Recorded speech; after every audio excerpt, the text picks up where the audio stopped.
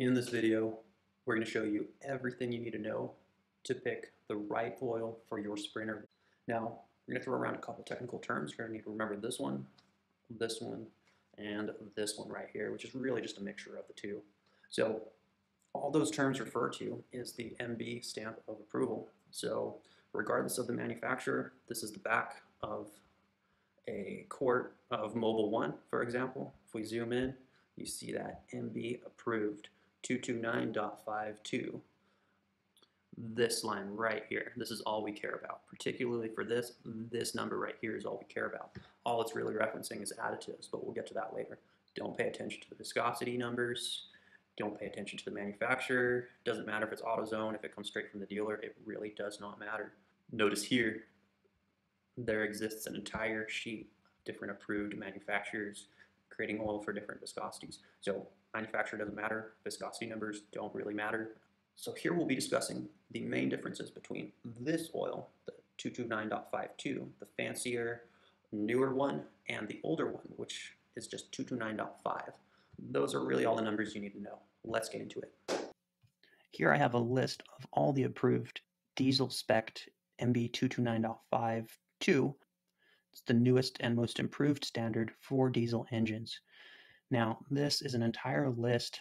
It's made up of multiple manufacturers. Essentially, they've gone through it and determined that yes, these specific oils do in fact meet our criteria. What is that criteria? Well, essentially, the primary goal of this oil spec is what's um, what's known as uh, SAPS, so if you do a quick Google search of um, SAPS diesel oil or something along those lines, you'll see it's associated with um, sulfated ash, phosphorus, and sulfur. These components are generally additives and the detergents to the oil. Uh, for example, here we have a sample text where it says the term sulfated ash related to the amount of metallic elements in the oils, which are mostly derived from the engine's oil detergent and anti-wear additive chemistry this along with multiple other forms will tell you you know hey when saps are removed it's not a very good lubricant. It doesn't protect it nearly as well as the older version.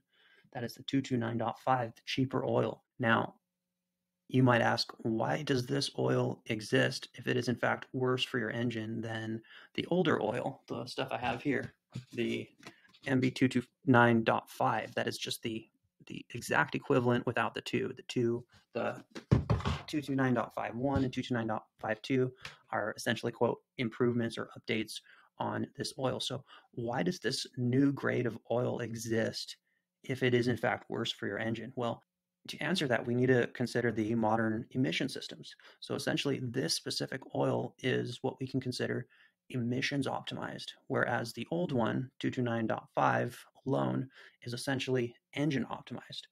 I hope that makes sense. Stay with me here for a little bit longer and you'll see what I mean. So ultimately, we have additives that are good for the engine, but bad for your emission systems. So this option here uses other sort of lower quality additives, arguably lower quality additives, which are created so that they don't have this hazardous effects or adverse effect on your emission system.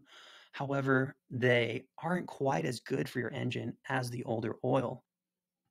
All right, let's summarize everything we've gone over. The additives and detergents that exist in this new and improved oil is better for your emission system and worse for your engine. Ultimately, what that means is that if you have the very limited emission systems that exist in these older model years, 02 to 06, you want the oil, the 229.5 oil.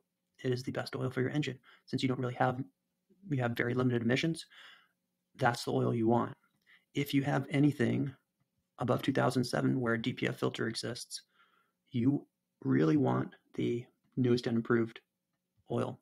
You generally want to skip this 229.51. You can use it if you're in a bit of a jam, but I would just suggest use the most, uh, use the one with the lowest uh, sulfated ash, phosphorus, and sulfur content. It will make a difference on your DPF filter and a minor difference on your SCR system. It's it's generally generally affects your DPF filter the most. So again, anything north of 2007 that's a diesel is going to have that DPF filter. All right. One exception if you live in Mexico or you happen to be utilizing your vehicle on a farm and you don't you're not required to um, abide by those stringent emission standards. If you do have emissions modifications where you've may possibly removed your DPF filter and SCR, utilize the oil that's best for your engine. So if you have emissions, use what's best for your emissions. If you don't have emissions, use what's best for your engine.